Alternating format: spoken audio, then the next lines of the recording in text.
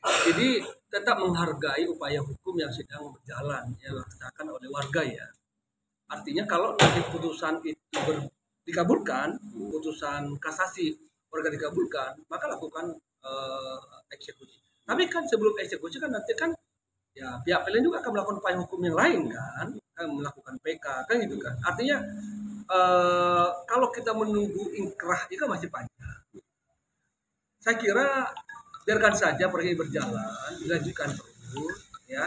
Artinya eh, waktu yang terbuang selama 8 tahun ini juga tidak eh, terbuang percuma. Apabila warga mengkhawatirkan eh, katakanlah soal masalah bahaya, keselamatan segala macam, saya yakin ya kan bahwa PLN sebagai korporasi anak perusahaan BUMN akan bertanggung jawab di. Dan saya kira kantornya ada di sini, mudah. Ke depan kami juga bisa memfasilitasi itu. Ya barang barangkali masyarakat bisa membuktikan mereka batu-batu sakit-sakit ya kan yang yang terkena radiasi contohnya atau karena eh, persoalannya diakibatkan pembangunan tower-tower itu bisa. Kami siap akan memfasilitasi supaya PLN memberikan pertanggungjawaban atau kompensasi. Yang kedua, memang dari eh, data yang kami miliki dan informasi yang kami kumpulkan, sampai saat ini PLN saya kira menjalankan fungsi pelayanannya cukup baik. Eh, tidak cukup banyak keluhan yang yang kami terima terkait dengan pelayanan PLN. Dan responsibility PLN kami kira juga cukup bagus ya. Bahkan koordinasi kami juga cukup positif ya eh, beberapa saran dan masukan dan bahkan keluhan yang disampaikan masyarakat kepada kami segera kita koordinasikan dan langsung kok direspon oleh pihak PLN. Nah, itu parameter bagi kami bahwa pen-pen saja pelayan PLN. Mungkin Pak ada sedikit Pak poinnya untuk pencerahan Pak bagi yang menolak. Karena kata Bapak tidak ada kata untuk menolak pembangunan SU 150 KP karena untuk halayak orang banyak. Ada nggak pencerahan Pak bagi yang menolak ini Pak? Negara kita kan negara hukum kan. Iya. Maka ada jaminan hukum nanti bagi masyarakat apabila gugatannya memang mereka dimenangkan. Jadi jangan takut. Ya.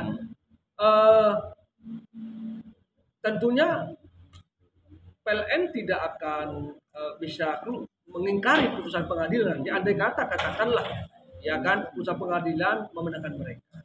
Nah, tapi bagaimana kalau kalah?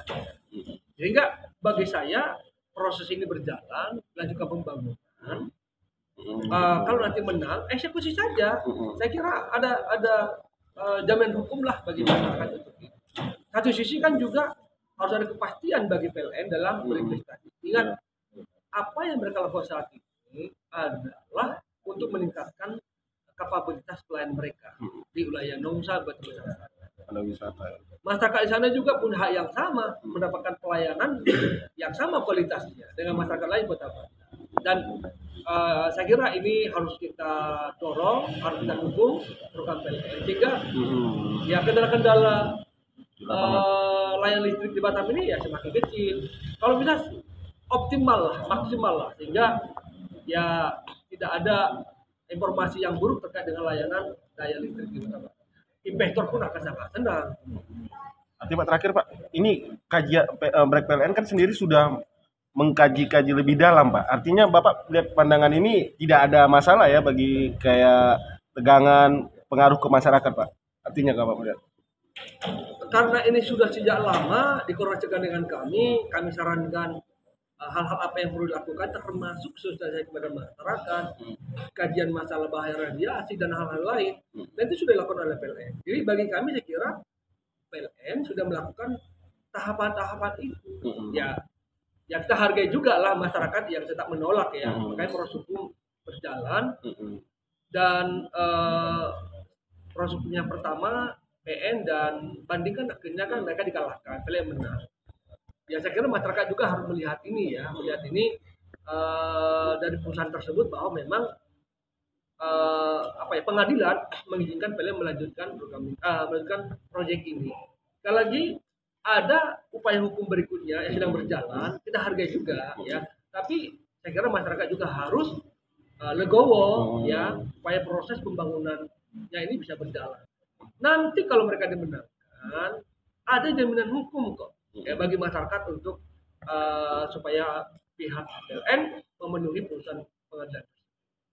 Saya kira itu. Ya, jadi sekali lagi pada masyarakat eh, kami akan mengawasi. Andai kata katakanlah ada eh, apa ya eh, konsekuensi Hmm. pembangunan proyek ini ke depan yang dari masyarakat, apakah karena radiasi kan, apa karena masalah-masalah yang timbul kemudian, kami akan siap memfasilitasi. Ya, jadi eh, kami yakin sekali demikian karena eh, PLN saya kira cukup profesional dan komitmen untuk itu. Saya kira itu.